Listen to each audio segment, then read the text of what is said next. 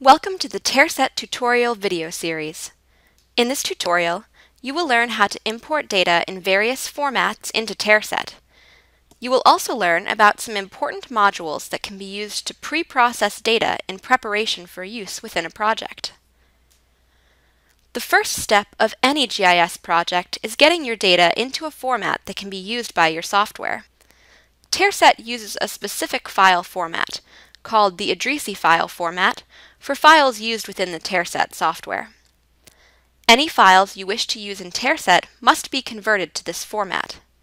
Fortunately, TerrSet offers an extensive set of import and export routines, making import of files fast and simple.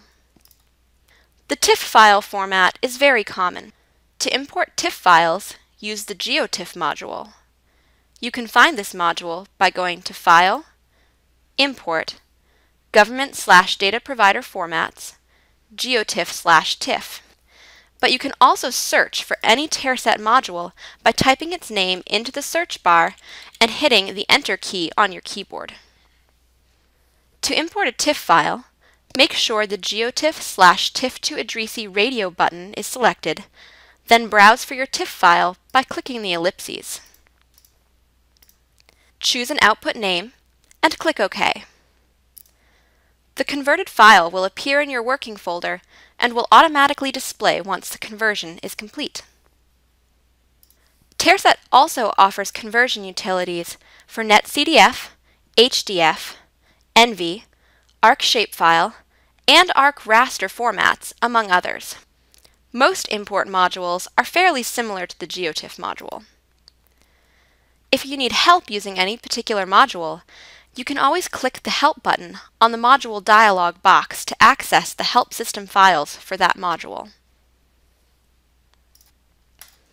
In addition to these specific file conversion utilities, TerrSet has several modules that can be used to import many different types of files. Generic raster can import most types of raster data in BIL, BIP, or BSQ formats and the TerrSet interface to the GDAL conversion utility can be used to convert nearly any raster image. As with the other import modules, you select an input dataset and an output name.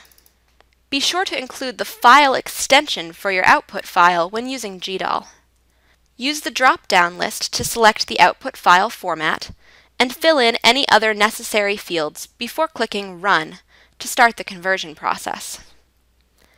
Images imported using GDAL will not display automatically.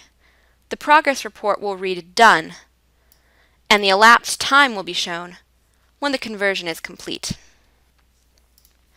There are a couple additional tips and tricks for importing files into TerrSet.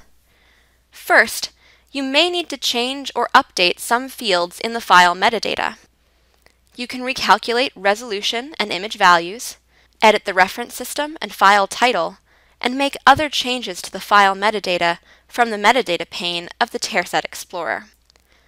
Second, your image may not look exactly as you want it to when you import it.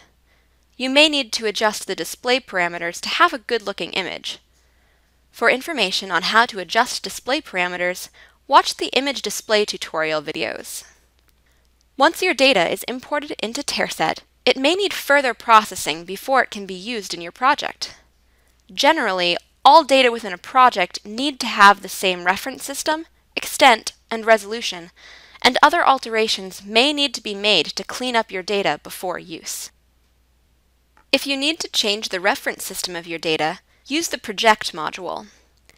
You can change the coordinate systems of both raster and vector images using Project. To demonstrate, I'll change the projection of this WorldClim mean temperature image from a sinusoidal to a latitude-longitude projection.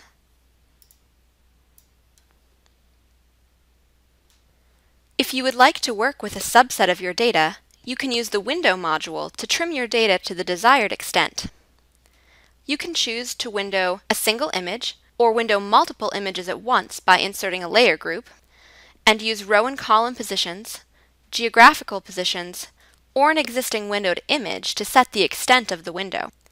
To demonstrate, I'll window a Landsat image of the area around Boulder, Colorado using an existing windowed image.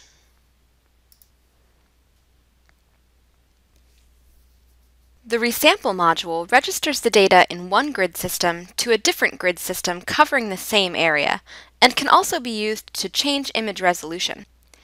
If you click the Output Reference Parameters button, you can change the number of rows and columns, and thus the resolution, of your output image.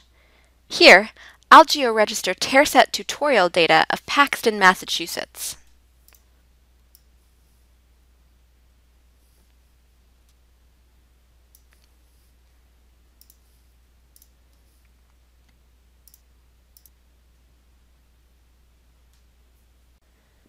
If you need to join multiple images together to cover your study area, use the Mosaic module. The Mosaic module is unique in that it allows you to match gray levels in your images to account for day-to-day -day changes in the atmosphere. This results in a more seamless combined image. To demonstrate, I'll join two Landsat tiles.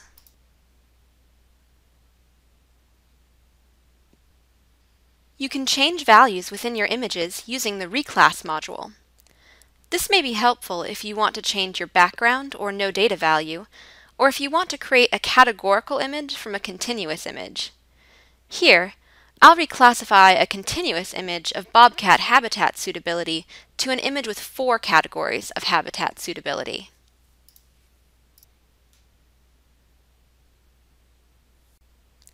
You can also convert images between raster and vector data types by using the raster vector module. If you're converting from a vector to a raster file, this module requires the use of the initial module to create a blank file that can then be updated by raster vector. If you are converting from raster to vector format, you do not need to use the initial module. To demonstrate, I'll create a vector layer of roads in central Massachusetts from a raster layer of roads. For more information on data import and export, as well as the modules mentioned in this video, check out the TerrSet Help System files. You can access the Help System by going to Help, Contents. You can also access the Help System files for any module by clicking the Help button on the module dialog box. For a quick introduction to the Help System, go to Help, Using Help.